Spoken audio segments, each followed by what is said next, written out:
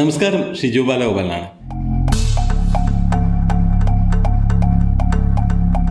ഇന്നലെ നമ്മൾ എങ്ങനെ സൗജന്യമായി ഡാവിഞ്ചി റിസോൾവ് ഡൗൺലോഡ് ചെയ്യാം നമ്മുടെ സിസ്റ്റത്തിൽ ഇൻസ്റ്റാൾ ചെയ്യാം എന്നതിനെക്കുറിച്ചും എന്താണ് ഡാവിഞ്ചി റിസോൾവ് എന്നതിനെക്കുറിച്ചുമാണ് സംസാരിച്ചത്. ഇന്ന് നമ്മൾ ഡാറ്റാ ബേസിനെ കുറിച്ചാണ് സംസാരിക്കുന്നത്. ഡാവിഞ്ചി റിസോൾവിലെ പ്രൊജക്റ്റ് ക്രിയേറ്റ് ചെയ്യുന്നത് ഡാറ്റാ ബേസിലാണ് ഡാവിഞ്ചി റിസോൾവ് ഉപയോഗിക്കുന്ന പലർക്കും വലിയ ധാരണയില്ലാത്തൊരു കാര്യമാണ് ഈ ഡാറ്റാ ബേസിനെ കുറിച്ച്. അതുകൊണ്ട് തന്നെയാണ് നമ്മൾ ഏറ്റവും ആദ്യം എല്ലാത്തിനെക്കുറിച്ചും പറഞ്ഞു പോകാമെന്നാണ് ഉദ്ദേശിക്കുന്നത്. ചിലപ്പോൾ നിങ്ങൾക്ക് ഇതെല്ലാം അറിയുന്നവരായിരിക്കും. പക്ഷെ എന്നാലും ഒന്നും അറിയാത്തവരുണ്ടാവുമല്ലോ. അവരെ ഉദ്ദേശിച്ചിട്ടാണ് ഇത്ര ലളിതമായിട്ട് ഓരോരോ കാര്യങ്ങളും പറഞ്ഞു വരുന്നത്. അപ്പോൾ നമുക്കിന്ന് ഡാറ്റാ ബേസിനെ കുറിച്ചും പ്രൊജക്റ്റ് മാനേജ്മെന്റിനെ കുറിച്ചാണ് നമ്മൾ സംസാരിക്കുന്നത്. കൃത്യമായി ഏത് പ്രൊജക്റ്റും നമ്മൾ വളരെ കൃത്യമായി സ്റ്റാർട്ട് ചെയ്യണം. അതിന്റെതായ രീതിയിൽ തന്നെ സ്റ്റാർട്ട് ചെയ്ത് മുന്നോട്ട് പോയാൽ അല്ലെങ്കിൽ കുറേ വർക്ക് കഴിയുമ്പോൾ നമുക്കിതൊന്നും തിരിയാത്തൊരവസ്ഥ വരും. അതുകൊണ്ട് ഏത് വർക്കും തുടങ്ങുമ്പോൾ വളരെ നീറ്റായിട്ട് കൃത്യമായി ഫോൾഡറൊക്കെ ചെയ്ത് കൃത്യമായി ഓർഗനൈസ് ചെയ്തിട്ട് തന്നെ പ്രൊജക്റ്റ് ഓർഗനൈസ് ചെയ്തിട്ട് തന്നെ ചെയ്യുക. മീഡിയ മാനേജ്മെന്റ് വളരെ പ്രധാനപ്പെട്ട ഒരു കാര്യമാണ്.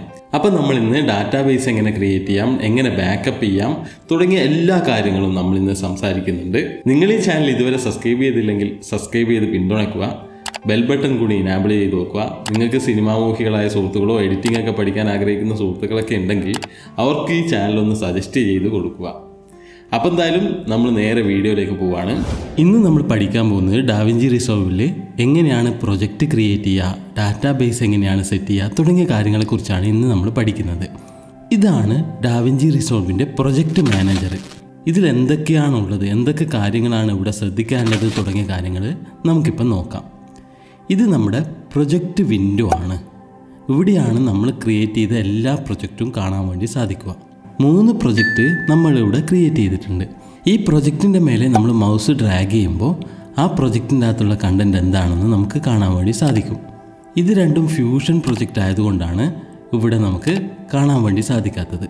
ഇനി നമുക്ക് ഈ പ്രൊജക്റ്റ് മാനേജറിൽ എന്തൊക്കെയാണ് ഉള്ളത് എന്ന് നോക്കാം. ഇത് നമ്മുടെ തമ്പനയിലിന്റെ സൈസ് അഡ്ജസ്റ്റ് ചെയ്യുന്നതാണ്. ഇത് സോർട്ട് ഓർഡർ ഈ സോർട്ട് ഓർഡർ എന്താണെന്ന് പറഞ്ഞാൽ ഈ പ്രൊജക്റ്റ് ഏത് രീതിയിലാണ് സോർട്ട് ചെയ്യേണ്ടത് എന്ന് നമ്മൾ സെലക്ട് ചെയ്യുന്നത് ഇവിടെയാണ്.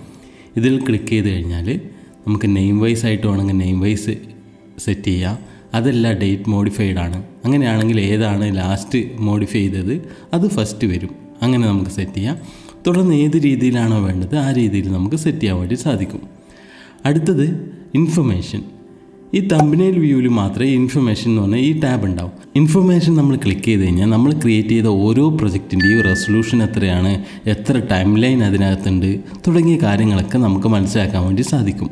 അടുത്തത് ലിസ്റ്റ് വ്യൂ ലിസ്റ്റ് വ്യൂ എന്ന് പറയുന്നത് നമ്മൾ തമ്പനയിൽ വ്യൂവും ലിസ്റ്റ് വ്യൂ അതിൽ ലിസ്റ്റ് വ്യൂവിൽ നമ്മൾ സെലക്ട് ചെയ്ത് കഴിഞ്ഞാൽ എല്ലാം ലിസ്റ്റായിട്ട് നമുക്കിവിടെ കാണാൻ വേണ്ടി സാധിക്കും. എല്ലാ കാര്യങ്ങളും പ്രൊജക്റ്റിന്റെ പേരെന്താണ് റെസൊല്യൂഷൻ ഫ്രെയിം റേറ്റ് എപ്പോഴാണ് ഈ പ്രൊജക്റ്റ് ക്രിയേറ്റ് ചെയ്തത് തുടങ്ങിയ എല്ലാ കാര്യങ്ങളും നമുക്ക് അറിയാൻ വേണ്ടി സാധിക്കും. എന്തായാലും ഞാൻ തമ്പനയിൽ വ്യൂ ആണ് ഞാൻ എപ്പോഴും ഉപയോഗിക്കാറുള്ളത്. അത് നമുക്ക് സെലക്ട് ചെയ്യാം. ഇത് സെർച്ച് ഈ സെർച്ചിൽ നമ്മൾ ഒരുപാട് പ്രൊജക്റ്റ് ഒരേ ഡാറ്റാബേസിൽ തന്നെ ക്രിയേറ്റ് ചെയ്തു. അപ്പോൾ നമുക്ക് ആ പ്രൊജക്റ്റ് ഒന്ന് സെർച്ച് ചെയ്തെടുക്കാൻ വേണ്ടിയിട്ടാണ് ഈ സെർച്ച് വിൻഡോ ഇനി നമുക്ക് ഏറ്റവും താഴെ new project new folder open മൂന്ന് കാര്യങ്ങൾ നമുക്ക് കാണാൻ വേണ്ടി സാധിക്കും. ഇപ്പം ന്യൂ പ്രൊജക്റ്റ് എന്ന് പറയുന്നത് പുതിയ പ്രൊജക്റ്റ് ക്രിയേറ്റ് ചെയ്യാൻ വേണ്ടിയിട്ടാണ്.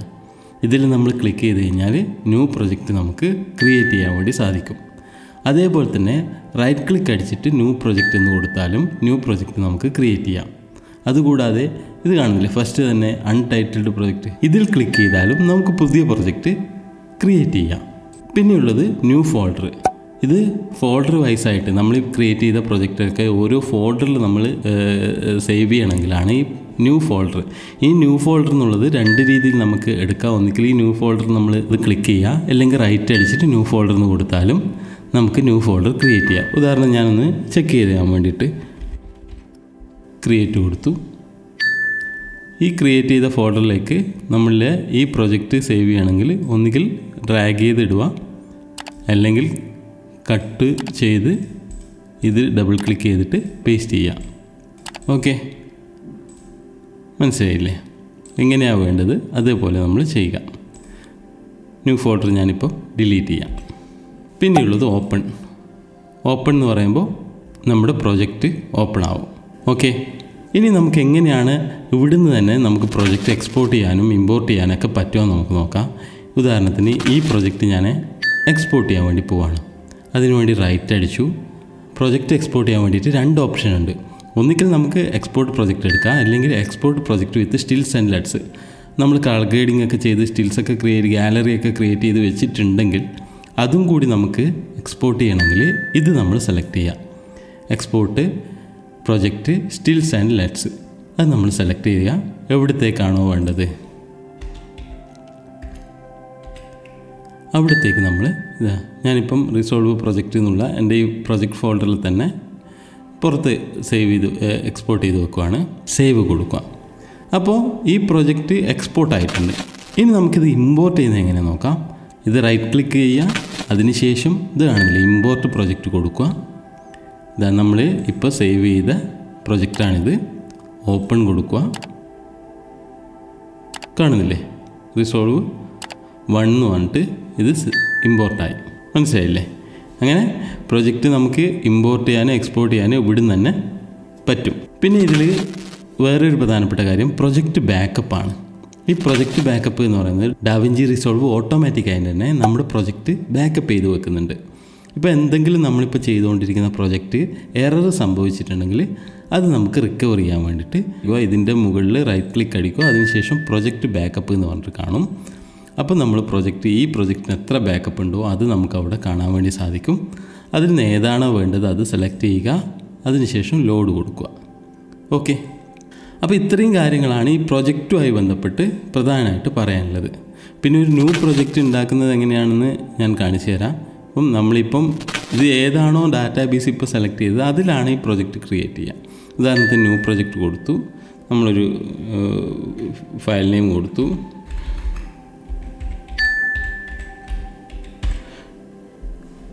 ഇത് ക്രിയേറ്റ് ഇതാ കണ്ടില്ലേ പുതിയൊരു പ്രൊജക്റ്റ് ഇവിടെ ക്രിയേറ്റ് ആയിട്ടുണ്ട്. അവിടെ നമുക്ക് വേണമെങ്കിൽ അതിനുശേഷം സേവ് കൊടുത്തു കഴിഞ്ഞാൽ ആ പ്രൊജക്റ്റ് സേവ് ആയി. ഓക്കെ ഇനി നമുക്ക് എന്തായാലും പ്രൊജക്റ്റ് മാനേജറിലേക്ക് തന്നെ പോവാം. ഇതാ നമ്മളിപ്പോൾ സേവ് ചെയ്ത ട്യൂട്ടോറിയൽ എന്ന് പറഞ്ഞ പ്രൊജക്റ്റ് ഇതാ കാണുന്നില്ലേ? ഇവിടെ നമുക്ക് കാണാൻ വേണ്ടി സാധിക്കും. ഓക്കെ ഇപ്പോൾ പ്രൊജക്റ്റുമായി ബന്ധപ്പെട്ട എല്ലാ കാര്യങ്ങളെക്കുറിച്ചും ഒരു ഐഡിയ കിട്ടിയിട്ടുണ്ടാവും വിചാരിക്കുന്നു. ഇനി നമുക്ക് ഡാറ്റാബേസിനെ കുറിച്ച് മനസ്സിലാക്കാം. ആദ്യം ഇതാണ് നമ്മുടെ ഡാറ്റാബേസ് ഹൈഡ് ചെയ്യാനും ഷോ ചെയ്യാനുമുള്ള ബട്ടൺ അപ്പോൾ നമ്മൾ ഇതിൽ ക്ലിക്ക് ചെയ്ത് കഴിഞ്ഞാൽ നമ്മുടെ എല്ലാ ഡാറ്റാബേസും നമുക്കിവിടെ കാണാൻ വേണ്ടി സാധിക്കും. ഇത് അതേപോലെ തന്നെ ഇത് ഹൈഡ് ചെയ്യാനും സാധിക്കും. അപ്പോൾ ഡാറ്റാബേസ് എന്താണ് എന്ന് നമുക്ക് നോക്കാം. ഡാവിഞ്ചി റിസോൾവിൽ ഡാറ്റാബേസ് അനുസരിച്ചാണ് പ്രൊജക്റ്റ് സേവ് ചെയ്യുക അതെന്തുകൊണ്ടാണെന്ന് ചോദിച്ചാൽ നമ്മൾ ഡാവിഞ്ചി റിസോൾവ് മൾട്ടി യൂസർക്ക് ഉപയോഗിക്കാൻ പറ്റും. ഡാവിഞ്ചി റിസോൾവ് സ്റ്റുഡിയോ ഉപയോഗിച്ച് കഴിഞ്ഞാൽ നമുക്കിപ്പം ഇന്റർനെറ്റ് ത്രൂ ലോകത്തിന്റെ പല ഭാഗത്തു നിന്നുള്ള ആളുകൾ ചിലപ്പോൾ നമ്മുടെ പ്രൊജക്റ്റ് ഓപ്പൺ ചെയ്യണമെങ്കിൽ യൂസർ ഉപയോഗിച്ച് നമുക്ക് ഓപ്പൺ ചെയ്യാനൊക്കെ പറ്റും. അതുകൊണ്ടാണ് ഡാറ്റാബേസ് അനുസരിച്ച് ഡാവിഞ്ചി റിസോൾവ് ക്രിയേറ്റ് ചെയ്യുന്നത്. ഇനി നമുക്ക് എങ്ങനെയാണ് പുതിയൊരു ഡാറ്റാബേസ് ക്രിയേറ്റ് ചെയ്യാൻ നോക്കാം. അതിനു വേണ്ടിയിട്ട് ന്യൂ ഡാറ്റാബേസ് നമ്മൾ സെലക്ട് ചെയ്യുമ്പോൾ ഇത് കാണുന്നില്ലേ? ഇതിൽ നമുക്കിങ്ങനെ രണ്ട് ഓപ്ഷൻ ഉണ്ട്. Disk PostgreSQL post guess Q എന്ന് പറഞ്ഞാൽ നമ്മൾ ഈ ഡാറ്റാബേസ് വേറൊരു സെർവറിൽ സേവ് ചെയ്തിട്ട് അത് നമുക്ക് മൾട്ടി യൂസർക്ക് ഉപയോഗിക്കാൻ വേണ്ടിയിട്ടാണ്. നമ്മൾ എന്തായാലും ഡിസ്കിലാണ് നമ്മൾ സേവ് ആക്കുന്നത്. നമ്മുടെ കമ്പ്യൂട്ടറിൽ തന്നെയാണല്ലോ നമ്മൾ സേവ് ചെയ്യുന്നത്. അപ്പോൾ നമ്മൾ ഡിസ്ക് സെലക്ട് ചെയ്യുക. അതിനുശേഷം എവിടെയാണ് ലൊക്കേഷൻ വേണ്ടത്? ആ ലൊക്കേഷൻ നമുക്ക് സെലക്ട് ചെയ്യണം. അതിന് വേണ്ടിയിട്ട് ബ്ലൗസ് കൊടുക്കുക. അതിനുശേഷം ഇത് കാണുന്നില്ലേ? എവിടെയാണോ നമ്മൾ പുതിയൊരു ഡാറ്റാബേസ് ക്രിയേറ്റ് ചെയ്യുന്നത് ഞാനൊരു പുതിയ ന്യൂ ഡി ബി എന്ന് പറഞ്ഞ ഒരു ഫോൾഡർ ക്രിയേറ്റ് ചെയ്തു. അപ്പോൾ ഇതിനകത്താണ് ഞാൻ പുതിയ ഡാറ്റാബേസ് ക്രിയേറ്റ് ചെയ്യുന്നത്. സെലക്ട് ഫോൾഡർ കൊടുത്തു. എന്താണോ പേര്? അത് കൊടുക്കുക. ന്യൂ ഡി ബി തന്നെ കൊടുക്കുക. പേര് എന്ത് വേണമെങ്കിലും നമുക്ക് കൊടുക്കാം. പിന്നെ വേറൊരു കാര്യം ഇതിൽ സ്പേസ് ഇടാൻ പറ്റില്ല അണ്ടർസ്കോർ ഇടാം. അപ്പോൾ സ്പേസ് വർക്കാവില്ല ഇത് കാണില്ലേ സ്പേസ് വർക്കാവില്ല പിന്നെ ഇതിൽ തമ്പനയിൽ വേണമെങ്കിൽ നമുക്ക് തമ്പനയിൽ കൊടുക്കാം.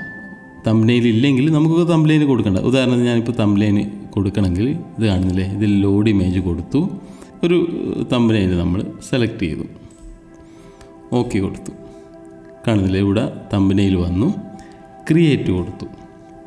ഇതാണെന്നില്ലേ? നമ്മുടെ ന്യൂ ഡി ബി എന്ന് പറഞ്ഞ തമ്പനയിൽ ഓൾറെഡി ഇവിടെ ക്രിയേറ്റായി അതിൽ പുതിയ പ്രൊജക്റ്റൊന്നും ഇല്ലാത്തതുകൊണ്ടാണ് ന്യൂ വെറും ഈ ന്യൂ പ്രൊജ അൺടൈറ്റിൽ പ്രൊജക്റ്റ് എന്ന് പറഞ്ഞിട്ട് മാത്രം കാണുന്നത്. ഇത് നമുക്ക് ഓപ്പൺ ചെയ്ത് കഴിഞ്ഞാൽ പ്രൊജക്റ്റ് ഓപ്പൺ ചെയ്യാൻ വേണ്ടി പറ്റും. ഇതാ കാണുന്നില്ലേ?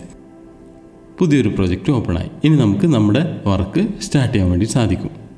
ഓക്കെ ഇതാണ് നമ്മളിപ്പോൾ ക്രിയേറ്റ് ചെയ്ത ഡാറ്റാബേസ് നമ്മൾ ഈ ഐക്കണ കൊടുത്ത് ഈ ഇമേജ് വേണമെങ്കിൽ റൈറ്റ് അടിച്ചിട്ട് റിമൂവ് ഇമേജ് കൊടുത്തു കഴിഞ്ഞാൽ നമ്മുടെ ഈ ഇമേജ് റിമൂവ് ആവും. ഈ ഡാറ്റാബേസ് എവിടെയാണ് സേവ് ചെയ്തത് എന്ന് നമുക്ക് നോക്കാം. അതിനുവേണ്ടി നമ്മൾ റൈറ്റ് ക്ലിക്ക് അടിക്കുക. അതിനുശേഷം ഇത് കാണുന്നില്ലേ ഓപ്പൺ ഫയൽ ലൊക്കേഷൻ അപ്പം നമ്മൾ ക്രിയേറ്റ് ചെയ്ത ന്യൂ ഡി ബി എന്ന് പറഞ്ഞ ഫോൾഡറിനകത്താണ് ഈ ഡാറ്റാബേസ് സേവ് ആയിട്ടുള്ളത്. ഓക്കെ മനസ്സിലായില്ലേ? അപ്പോൾ ഇതുവരെയുള്ള എല്ലാ കാര്യങ്ങളും ക്ലിയർ ആയില്ലേ? ഇതിൽ റൈറ്റ് ക്ലിക്ക് ചെയ്ത് കഴിഞ്ഞാൽ മൂന്ന് ഓപ്ഷനാണുള്ളത് ഒന്ന് ഓപ്പൺ ഫയൽ ലൊക്കേഷൻ അതിപ്പോൾ നമ്മൾ നോക്കി പിന്നെ ഡിസ്കണക്റ്റ് നമ്മുടെ ഡാറ്റാബേസ് ഈ പ്രൊജക്റ്റ് മാനേജറിൽ നിന്ന് ഡിസ്കണക്ട് ചെയ്യണമെങ്കിൽ ഡിസ്കണക്ട് പിന്നെ ലോഡ് ഇമേജ് ലോഡ് ഇമേജും നമ്മൾ നോക്കിക്കഴിഞ്ഞു. ഓക്കെ ഇതെന്റെ ഞാനിപ്പോൾ ചെയ്യുന്ന ട്യൂട്ടോറിയലിന് വേണ്ടിയിട്ട് ഉണ്ടാക്കിയ ഒരു ഡാറ്റാബേസാണ് പുതിയൊരു ഡാറ്റാബേസ് നമ്മൾ ക്രിയേറ്റ് ചെയ്യുമ്പോൾ കുറച്ച് കാര്യങ്ങൾ നമ്മൾ ശ്രദ്ധിക്കണം. എപ്പോഴും സ്പീഡുള്ള ഡ്രൈവിൽ വേണം ഈ ഡാറ്റാബേസ് സേവ് ചെയ്യാൻ വേണ്ടിയിട്ട്. മാക്സിമം ഇന്റേർണൽ ഹാർഡ് ഡിസ്കിൽ തന്നെ സേവ് ചെയ്യാം. അതല്ല എക്സ്റ്റേണലാണ് സേവ് ചെയ്യുന്നതെങ്കിൽ അത്രയും ഫാസ്റ്റ് ആയിട്ടുള്ള S S D hard disk ഒക്കെ ആണെങ്കിൽ ഏറ്റവും നല്ലത്. അത് നമ്മളെപ്പോഴും ഡാറ്റാബേസ് ക്രിയേറ്റ് ചെയ്യുമ്പോൾ ശ്രദ്ധിക്കേണ്ട ഒരു പ്രധാനപ്പെട്ട കാര്യമാണ്. പരമാവധി എക്സ്റ്റേണൽ ഹാർഡ് ഡിസ്കിൽ ചെയ്യാതിരിക്കുക. ഓക്കെ. ഇനി നമുക്ക് ഈ പ്രൊജക്റ്റ് എങ്ങനെ ബാക്കപ്പ് ചെയ്യാമെന്ന് നോക്കാം. അതിനുവേണ്ടി ഞാൻ ഈ പ്രൊജക്റ്റാണ് ബാക്കപ്പ് ചെയ്യുന്നത്. ആ പ്രൊജക്റ്റിൽ ഞാൻ സെലക്ട് ചെയ്തു. അതിനുശേഷം ഈ കാണുന്നില്ലേ? ഇതാണ് ബാക്കപ്പ്. ഇവിടെ നമ്മൾ ബാക്കപ്പ് എന്ന് കൊടുക്കും. അപ്പോൾ ഞാൻ ഓൾറെഡി മുമ്പ് ബാക്കപ്പ് ചെയ്തിട്ടുണ്ട്. ഞാൻ ഈ പ്രൊജക്റ്റിനകത്ത് തന്നെ ഒരു ഫോൾഡർ ഉണ്ടാക്കിയിട്ട് ഡാറ്റാബേസ് ബാക്കപ്പ് എന്ന് പറഞ്ഞിട്ട് ബാക്കപ്പ് ചെയ്തിട്ടുണ്ട്. അപ്പോൾ ഞാൻ ഇപ്പം ഞാൻ പുതിയൊരു ബാക്കപ്പ് കൂടി എടുക്കുകയാണ്. നമ്മളെപ്പോഴും ബാക്കപ്പ് ചെയ്തുകൊണ്ടിരിക്കുക ഡാവിഞ്ചി റിസോൾവ് ഇങ്ങനെ പുതിയ പുതിയ അപ്ഡേഷൻസ് കൊണ്ടുവന്നുകൊണ്ടേയിരിക്കും. അപ്പോൾ നമ്മളെപ്പോഴും ശ്രദ്ധിക്കേണ്ടത് ബാക്കപ്പ് ചെയ്യാൻ മറക്കരുത്. ഓരോ തവണ നമ്മൾ ചെയ്യുമ്പോഴും ഈ ഡാറ്റാബേസ് നമ്മൾ ബാക്കപ്പ് ചെയ്ത് വെക്കേണ്ടത് അത്യാവശ്യമുള്ളൊരു കാര്യമാണ്. അപ്പോൾ നമ്മൾ ഞാനിപ്പം വണ്ണ് എന്ന് പറഞ്ഞിട്ട് കൊടുക്കും. ഓക്കെ അല്ലെങ്കിൽ ഇന്നത്തെ ഡേറ്റ് വേണമെങ്കിൽ ഇന്നത്തെ ഡേറ്റോ എന്താണെന്ന് വെച്ചാൽ കൊടുക്കാം. അപ്പോൾ സേവ് കൊടുത്തു. അപ്പോൾ ഒന്നും കൂടി ചോദിക്കും ഡാറ്റാബേസ് ബാക്കപ്പ് ചെയ്യണമെന്ന് അപ്പോൾ നമ്മൾ ബാക്കപ്പ് എന്ന് കൊടുത്തു. അപ്പോൾ നമുക്ക് ഇങ്ങനെ ഒരു വിൻഡോ വരും. ഇത് കംപ്ലീറ്റ് ആയി എന്ന് പറഞ്ഞിട്ട് ഓക്കെ കൊടുക്കുക. ഇനി നമുക്ക് ആ ഡാറ്റാബേസ് ഇതിലേക്ക് ഇമ്പോർട്ട് ചെയ്യണം. അതെങ്ങനെയാണെന്ന് നമുക്ക് നോക്കാം. ഈ ഡാറ്റാബേസ് ഇതിലില്ല. ഞാനിതിനെ ഡിസ്കണക്ട് ചെയ്യട്ടെ. റൈറ്റ് അടിച്ചു. ഡിസ്കണക്ട് കൊടുത്തു. ഇത് ഡിസ്കണക്ട് ചെയ്യണമെന്ന് ഒന്നും കൂടി ചോദിക്കും. അപ്പോൾ നമ്മൾ വേണമെങ്കിൽ ഡിസ്കണക്ട് കൊടുക്കും. എന്റെ ആ ഫിലിം സ്കൂൾ എന്ന് പറഞ്ഞ ഡാറ്റാബേസ് ഇതിൽ കാണുന്നില്ല. അതിന് നമുക്ക് റീസ്റ്റോർ ചെയ്യണം. അതെങ്ങനെയാണെന്ന് നോക്കാം. റീസ്റ്റോർ ചെയ്യുന്നത് ഇതാ കാണുന്നില്ലേ? ഈ റീസ്റ്റോർ എന്ന് പറഞ്ഞ ബട്ടണിൽ നമ്മൾ ക്ലിക്ക് ചെയ്യാം. അപ്പോൾ നമ്മൾ പാത്ത് സെലക്ട് ചെയ്യണം. എവിടെയാണോ നമ്മുടെ ബാക്കപ്പ് എടുത്ത് വെച്ചിരിക്കുന്നത്. ഞാനിപ്പം ഇതാ കാണുന്നില്ല? ഇതാണ് ലാസ്റ്റ് ബാക്കപ്പ് ചെയ്തത്. റിസോൾവ് വണ്ണ് എന്ന് പറഞ്ഞിട്ട്. അത് ഞാൻ സെലക്ട് ചെയ്തു. അതിനുശേഷം ഓപ്പൺ കൊടുത്തു. ഓപ്പൺ കൊടുക്കുമ്പോൾ പുതിയ ഡാറ്റാബേസ് ക്രിയേറ്റ് ചെയ്യുന്നത് പോലെ തന്നെ ക്രിയേറ്റ് ചെയ്യാണ് വേണ്ടത്. അപ്പോൾ നമുക്ക് ഇങ്ങനെ ഒരു വിൻഡോ വരും ന്യൂ ഡാറ്റാബേസ് എന്ന് പറഞ്ഞിട്ട്. അവിടെ നമ്മൾ ലൊക്കേഷനൊക്കെ സെലക്ട് ചെയ്ത് കൊടുക്കുക. എവിടെയാണോ വേണ്ടത് അവിടെ നമ്മൾ ലൊക്കേഷൻ സെലക്ട് ചെയ്യുക. റിസോൾവ് പ്രൊജക്റ്റിൽ തന്നെയാണ് വേണ്ടെങ്കിൽ ഓക്കെ കൊടുക്കുക. അതിനുശേഷം എന്താണോ പേര്?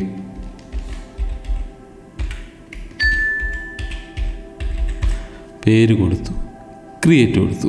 ഇത് കാണുന്നില്ലേ? അപ്പോൾ നമ്മൾ റീസ്റ്റോർ ചെയ്യണമെന്നൊന്നും കൂടി ചോദിക്കും. അപ്പോൾ നമ്മൾ റീസ്റ്റോർ കൊടുത്തു. അപ്പോൾ ഡാറ്റാബേസ് റീസ്റ്റോർഡ് സക്സസ്ഫുള്ളി എന്ന് പറഞ്ഞിട്ട് നമുക്ക് മെസ്സേജ് വരും. അപ്പോൾ ഓക്കെ. ഇതാ കാണുന്നില്ലേ? നമ്മൾ നേരത്തെ ക്രിയേറ്റ് ചെയ്ത ആ ഡാറ്റാബേസ് നമുക്ക് റീസ്റ്റോർ ചെയ്യാൻ വേണ്ടിയിട്ട് പറ്റി. ഓക്കെ. എല്ലാ കാര്യവും നിങ്ങൾക്ക് മനസ്സിലായിട്ടുണ്ടാവും വിചാരിക്കുന്നു. അങ്ങനെ നമ്മൾ ബാക്കപ്പും പഠിച്ചു റീസ്റ്റോറും പഠിച്ചു. ഇനി നമ്മൾ കണക്റ്റ് ഡാറ്റാബേസ് ആണ് നോക്കുന്നത്. അതിനു വേണ്ടിയിട്ട് ഞാൻ ഈ കാണുന്നില്ലേ? നമ്മൾ വേറൊരു ഡാറ്റാബേസ് ഞാൻ എടുക്കുന്നു. പി ആർ ഡി ഫിലിം ഇത് ഞാൻ പി ആർ ഡിക്ക് വേണ്ടി ചെയ്തൊരു ഷോർട്ട് ഫിലിമാണ് ഷെറീഫീസ് സംവിധാനം ചെയ്തൊരു ഷോർട്ട് ഫിലിം ഞാൻ എഡിറ്റ് ചെയ്തൊരു വർക്കായിരുന്നു അപ്പോൾ ഇത് നമ്മൾ ഡിസ്കണക്ട് ചെയ്യുന്നു. ഡിസ്കണക്ട് കൊടുത്തു. ഇതിന് നമുക്കൊന്ന് റീകണക്ട് ചെയ്യാം. അതെങ്ങനെയാണ് നമ്മൾ റീകണക്ട് ചെയ്യാന്ന് പറഞ്ഞു കഴിഞ്ഞാൽ ഇത് കാണുന്നില്ലേ? കണക്റ്റ് ഡാറ്റാബേസ് നമ്മൾ സെലക്ട് ചെയ്യാം. അപ്പോൾ അതിന് ശേഷം എവിടെയാണോ അതിന്റെ പാത്തുള്ളത് അത് നമ്മൾ സെലക്ട് ചെയ്യാം. കൃത്യമായി ഫയൽ നെയിം കൊടുത്ത് ഞാൻ ഈ പ്രൊജക്റ്റ് എന്ന് പറഞ്ഞാലാണ് സേവ് ചെയ്യാറുള്ളത്. അപ്പോൾ സെലക്ട് ഫോൾഡർ കൊടുത്തു. അതിനുശേഷം നമ്മൾ എന്താണോ പേര് അത് കൊടുക്കുക.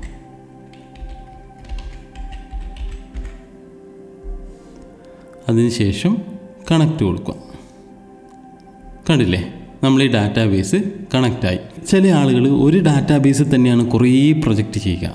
ഒരിക്കലും ഞാൻ അതിനെ സപ്പോർട്ട് ചെയ്യില്ല. കാരണം എന്തെങ്കിലും കാരണവശാൽ ആ ഡാറ്റാബേസ് കറപ്റ്റ് ആയിട്ടുണ്ടെങ്കിൽ നമുക്കതൊരു പിന്നീട് നമുക്ക് റിക്കവർ ചെയ്യാനൊക്കെ വലിയ പാടായിരിക്കും. കൃത്യമായി നമ്മൾ ബാക്കപ്പ് ചെയ്യാനൊക്കെ മറന്നു പോയിട്ടുണ്ടെങ്കിൽ പ്രയാസമായിരിക്കും.